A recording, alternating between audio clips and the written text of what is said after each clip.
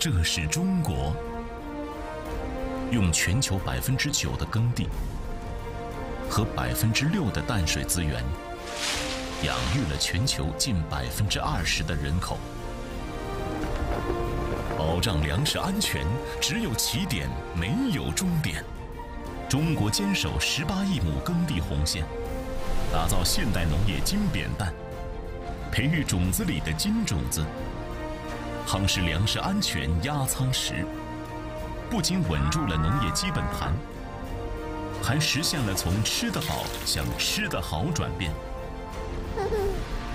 端老中国饭碗摄制组足迹遍访全国二十多个省市自治区，与您一起踏上一段不寻常的旅程，一同见证越走越稳健的中国特色粮食安全之路。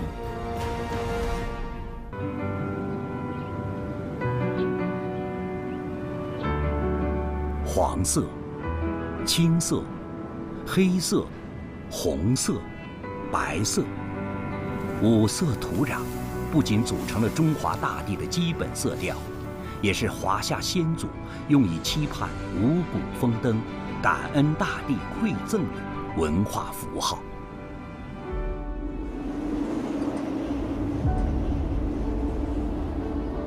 风沙堆积，时间搬运。形成了富含钙元素的黄色土。奔涌的黄河流经这里，塑造了沃野千里。先民们在这里驯化黍稷，诞生了东亚农耕文明。江河纵横，水网密布，泥土长期被江水浸泡，活跃的铁元素。慢慢呈现出了青黑色。这里是水稻的故乡，青色的土壤成就了丰衣足食的富庶江南。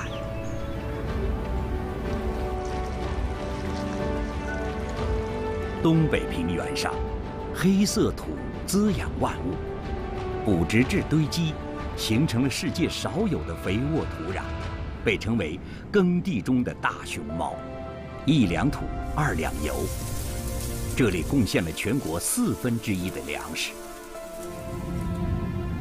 中国南方高温多雨，油菜花和洋芋花铺就了彩色丘陵。含有铁铝等金属的岩石，历经数十万年的风化氧化之后，形成了红色土。红壤区的耕地面积约占中国总耕地面积的百分之二十八。从空中俯瞰，东中西部许多省份散落着一块块白色盐碱土。这些原本的荒漠，中国人却让它滋生出绿色的生机，变身为良田。开梯田使水稻上了山，开沟作林帮助稻麦一年两熟，沙田独步世界。让中国人吃到更多甜美瓜果。打造良田，就是在打造中国人的幸福生活。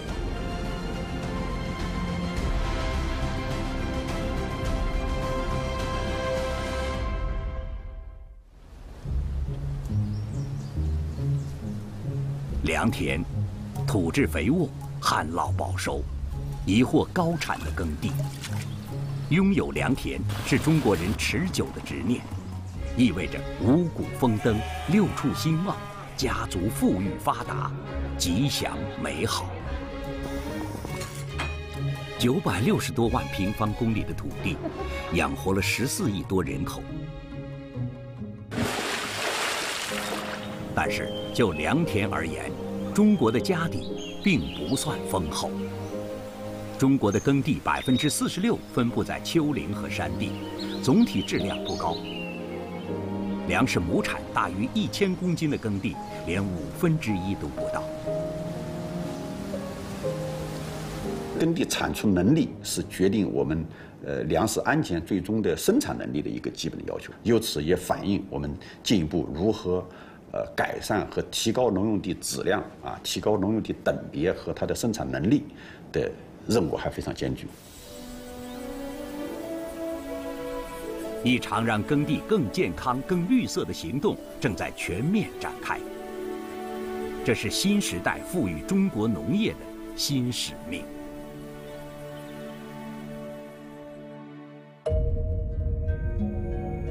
色黑如珍宝，土好肥力高。黑土是地球上十分珍贵且稀有的土壤资源。已经形成了四十六亿年的地球，至今也只有四大黑土区。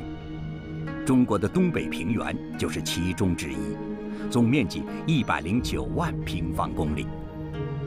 北起大兴安岭，南至辽宁南部，西到内蒙古东部的大兴安岭山地边缘。东达乌苏里江和图们江，这一片肥沃的黑土，如今是中国最大的粮仓。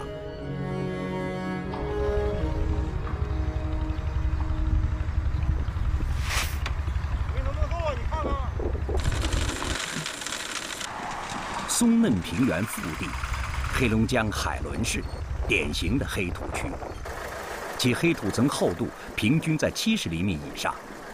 有机质含量高达百分之三至百分之五。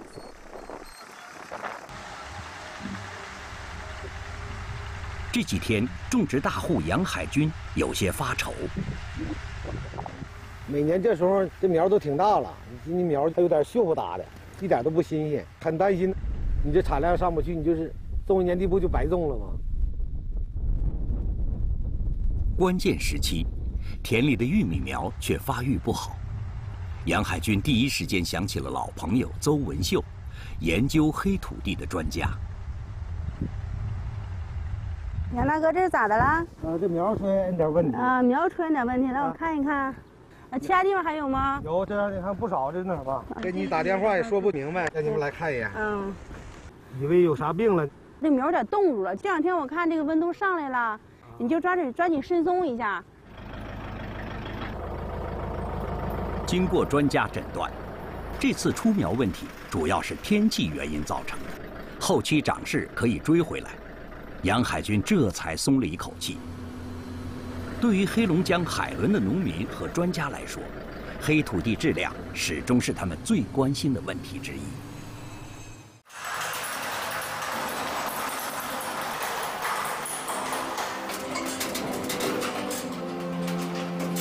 作为松嫩平原海伦示范区治理黑土地的专家，邹文秀在这片土地上的研究工作将近二十年。黑土地上一点一滴的变化，都牵动着他的心。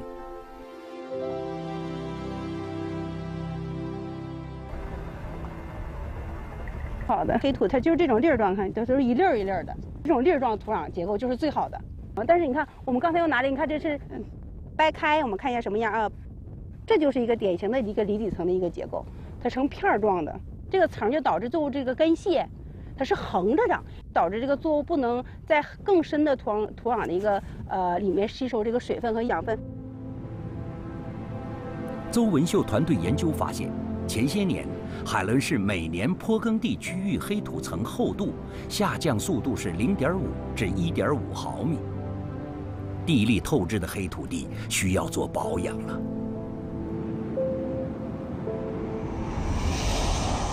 小的时候，黑土给我的印象就是说，它能够让我们吃饱，它能养活我们一家。黑土里面很硬，这个层就是离底层，但其实就是由于这个离底层的存在，啊之后呢，作物就不能好好长，所以我感觉就特别痛心。我就想，哎呀，你是不是我们能做点什么？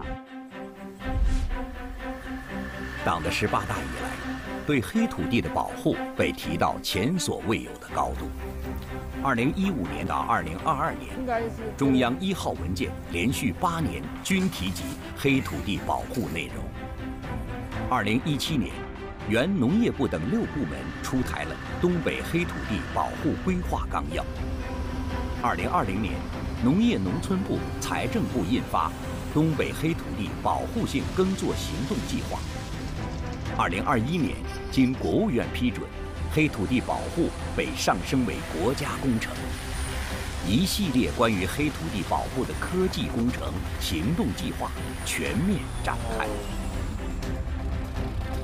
海伦市作为农业农村部门实施的东北黑土地保护利用试点，也随之开展了一系列耕地治理保护措施，通过深翻耕地、秸秆还田、打破离底层、增加土壤有机质，提升黑土地质量。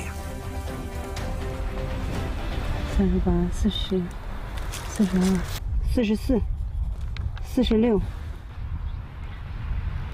就我们改良过的土壤的表层的硬度呢，在二十左右；没有经过我们的改良的土壤的硬度呢，在五十到六十。今天，邹文秀和团队采集的土壤，是为了检验此前秸秆还田的方式是否取得了预期效果。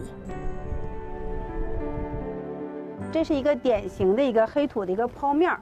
我们也看到哈，从地表到八十厘米呢，有一个明显的一个呈黑色的这个这这一个土层。这个呢，就是去年经过这个秸秆深翻还田的一个一个剖面儿，你就看到，通过这种方式呢，就是很硬很硬，这个层没了，然后呢，能让这个秸秆和有机肥呢进入到零到三十五厘米，构建一个肥沃的一个耕层。政策聚焦发力，专家把脉会诊，农民全力以赴，黑土地治理显现出成效。二零一五年以来，中国先后实施黑土地保护利用试点一千四百五十万，实施黑土地保护性耕作超两亿亩次。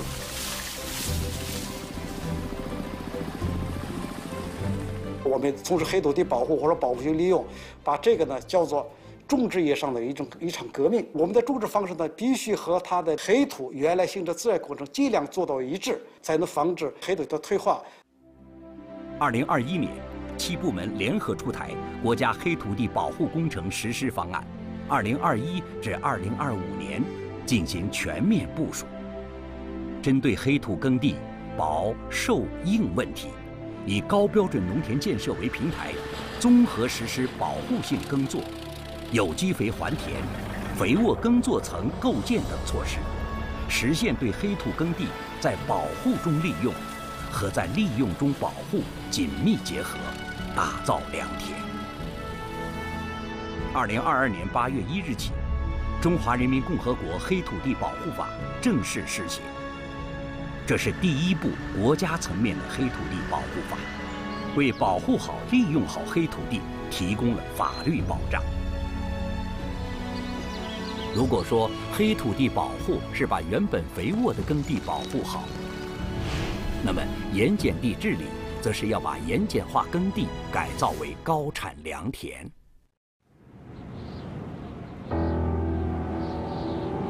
盐碱地被称为“地球之选”，是治理难度最大的土地。综合利用盐碱地是中国实施藏粮于地战略的一块重要拼图。中国盐碱地分布范围广，散落在西北、华北、东北和滨海等地区。不同地区的盐碱地成因不同，治理方法也不同。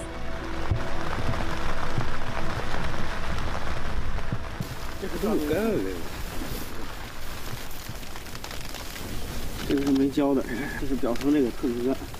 你看这燕麦草在这个地上都能长。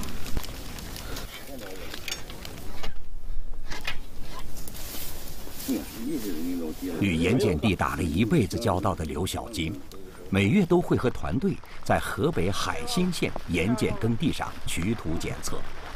他们最担心的是，莫过于改良过的盐碱地再次反盐。走吧，下起雨了，往回走吧。正好打完了也下完了，走吧。是不是？走了走了。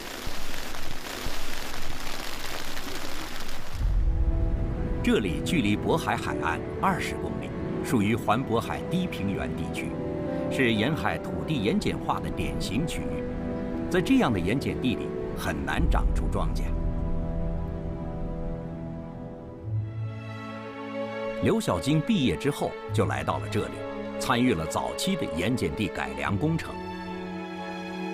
二零一三年，国家启动了渤海粮仓科技示范工程，计划用五年的时间。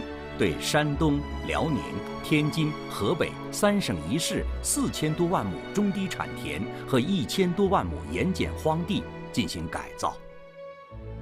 盐碱地它是资源啊，因为国家嘞需要这个粮食啊生产。环渤海地这块地嘞，也是当时黄淮海中地产治理的时候留下了一块，也是最难啃的一个硬骨头。在长期的探索和实践中，刘小京团队已经掌握了一套改良盐碱地的方法。但是，治理好的盐碱地需要经常监测，以免因为海水的侵蚀出现再次反盐。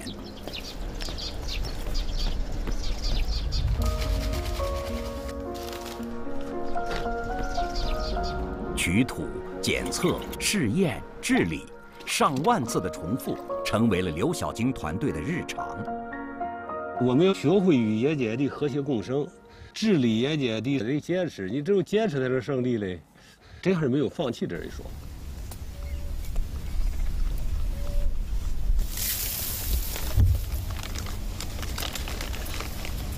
还是很咸，就算八颗生吧。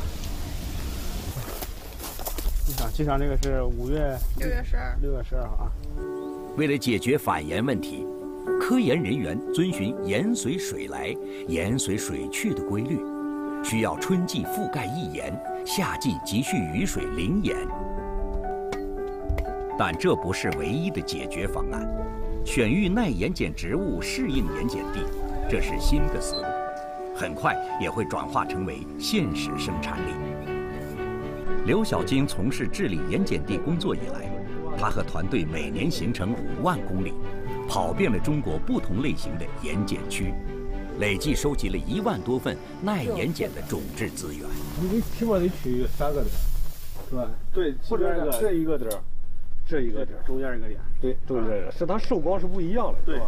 嗯，我感觉这样的话，你得这样，你才能是一个平均的一个点。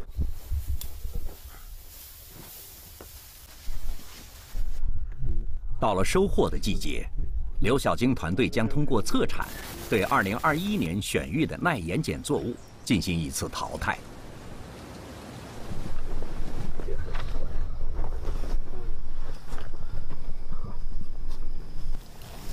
有点酸味儿。嗯，废菜，又叫养心菜。嗯，非常耐盐碱，因为在这个沿海地区啊，我用这个做这个地被植物。做这个绿化用，可以作为中药材的废菜长势喜人。除此之外，大麦和燕麦也给了刘小京团队一个惊喜。张老师、金老师，快来，来吃饭了。一二三，是，还还是挺丰盛的，都是我们自己生产的。爷爷地上啥都长了，刘小晶刚来到实验基地的时候，吃的是随身携带的干粮。如今，实验基地里种出新鲜的蔬菜瓜果，已经可以自给自足。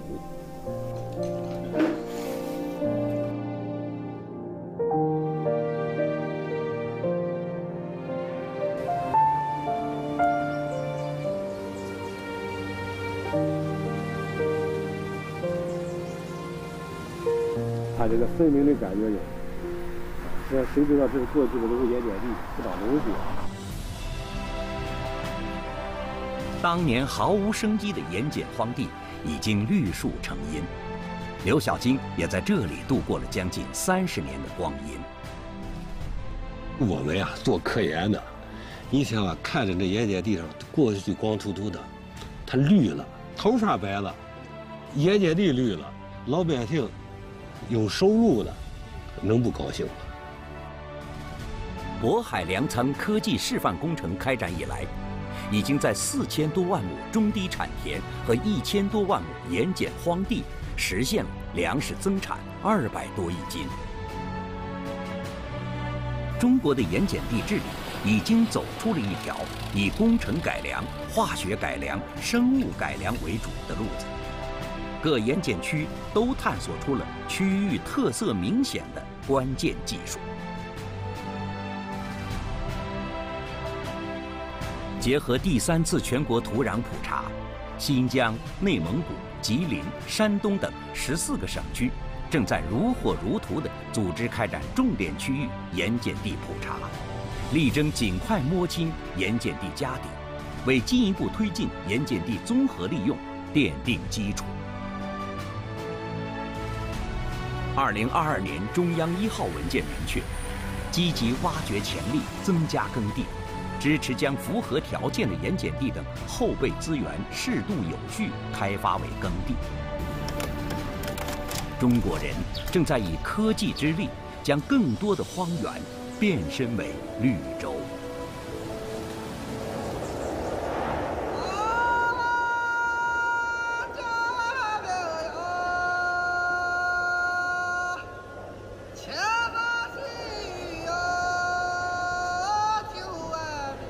甘肃定西，以马铃薯种植出名。几年前，赵全武退伍返乡种田，这几天他总是焦急地抬头望天。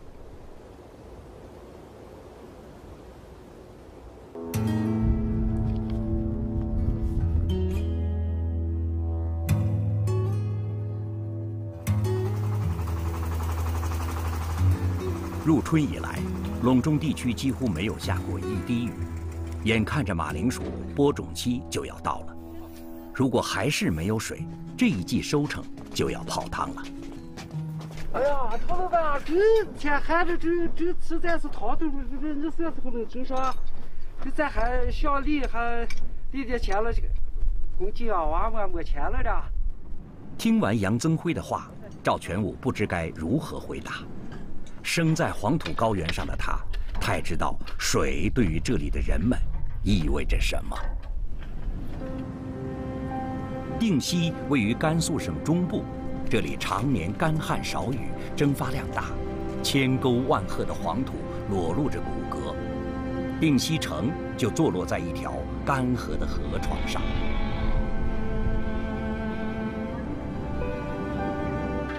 为了保持水土。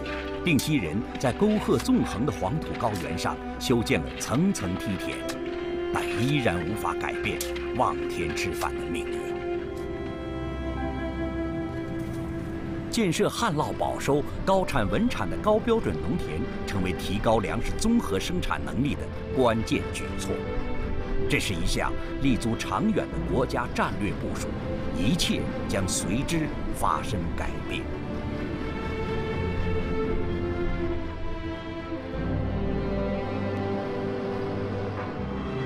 对于缺水的甘肃定西来说，打造良田关键在水。这里的农田分布于高低不平的山岭之上，唯一可以用来饮水的桃河水盘绕在山脚。要把这里的水引上山去，需要跨越二百八十一米的落差。如何用好每一滴水，让每一块地都得到滋润，是这项工程。最大的挑战。我们在那块通往四区的那片道路上，有一段路那个特别陡，呃，当时呢，因为那个是垂，几乎上就是垂直往下的，我们那个加设拐道呢不容易。你如果是继续外露在上面，无法施工，施工太难。经过反复勘测，工程先利用水泵把山底桃河二干渠的水引上山顶的蓄水池，再在每层梯田中铺设管道。蓄水池的水就沿着这些如同毛细血管般的管道流进一千零四十亩梯田里。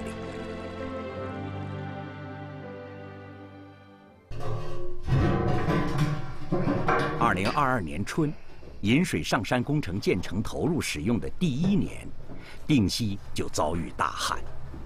这项工程一落地就面临严峻考验。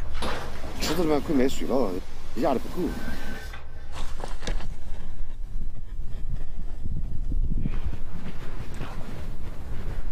当时施工走的路比这个难多了。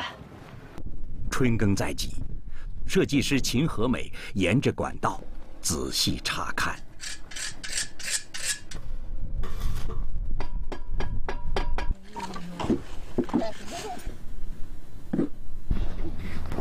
没事啊？啊，完了做铁丝板，走两个柱，你给我拉拐拐，这个柱下的是大区，你冲冲冲过来。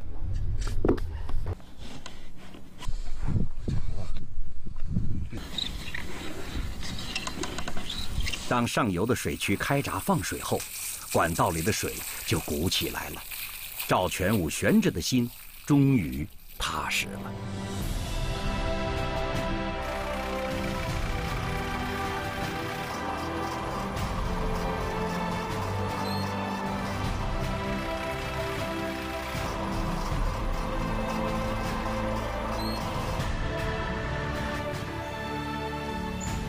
八月。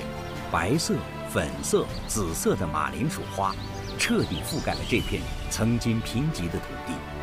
同时，它也预示着曾经靠天吃饭的定西人的命运正在被改写。党的十八大以来，中国各地深入实施“藏粮于地、藏粮于技”战略，大力推进高标准农田建设。一大批旱涝保收、高产稳产的良田陆续诞生。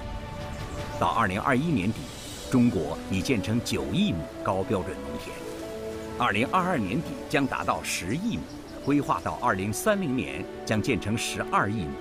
这意味着百分之六十以上的耕地将成为高标准农田。高标准农田是确保国家粮食安全的关键举措。二零三零年要建设十二亿亩高标准农田，以此稳定的啊一点二万亿斤以上的粮食产能，意味着我们国家口粮绝对安全，谷物基本自给，确保中国人的饭碗牢牢端在自己手里，里面主要装中国粮。